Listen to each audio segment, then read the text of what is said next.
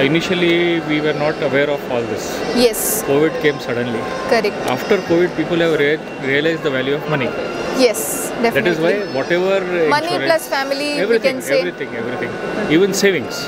Yes. Earlier, people were not uh, able to save the money. Also, Correct. people were just behind uh, spending on uh, unnecessary things. yes, yes, absolutely. So now absolutely people have started. People have started uh, Yeah, uh, thinking about